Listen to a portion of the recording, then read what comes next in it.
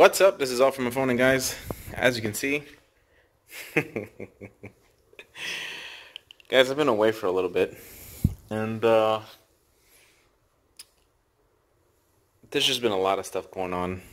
Stuff with the wifey, like stuff with her health, um, just a bunch of stuff that I haven't been able to get on here and do a post. I was trying to do a video on my suspension, getting it all fixed. This is not that. so I was driving the roller the other day, and this is a good lesson learned for some people because some people say that the 2ZZ engine uh, is also garbage, but I will tell you that the only reason that this happened to me was because I ran the vehicle with very low oil and very high RPM. Turning. So the other day I was coming home from work and I was making a U-turn. There was cars coming the other direction and I gunned it in first, hit lift, shifted, slowed down because I was coming up to a light to make a right. So when I was coming up to the light, I started hearing a slight tap and noticed weak, you know, weaker power.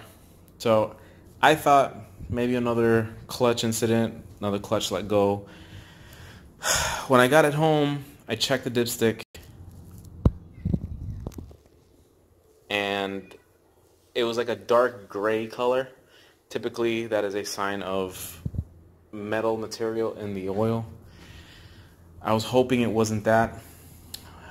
Fast forward, got the car towed to my house, put it up in the air and this is what I got. So, got the engine apart.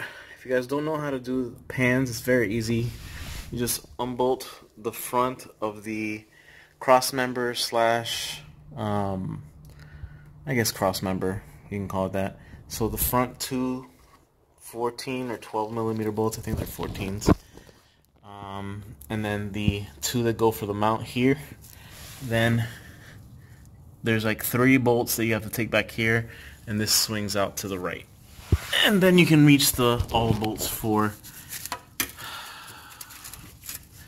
you can reach all the bolts for the uh, oil pan. So I'm gonna show you oh, what happens guys. So this is what the movement of a rod bearing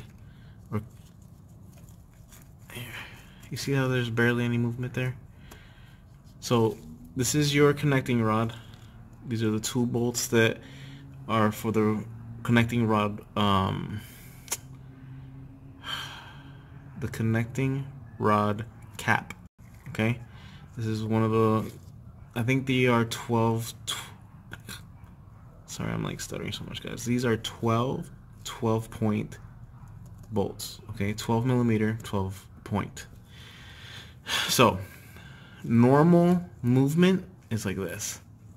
That's normal movement okay? So when you're putting an engine back together you kind of want this movement okay? Very slight movement. Not normal movement.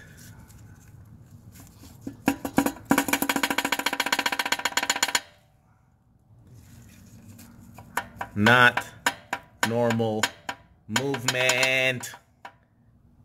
FML. FML, FML, FML. yeah, guys, I'm pretty upset about this. But I have only myself to blame because I was running my car with low oil. And that is what happens. So, uh, I'm going to see if I can get away with just replacing the bearings on this without having to do anything else. These cars are typically pretty reliable.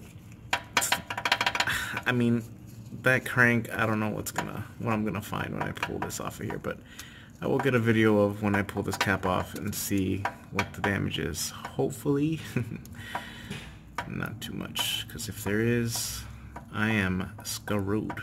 But anyways, Alright guys, that's pretty much it for today. Hope you guys learned a lesson. Peace.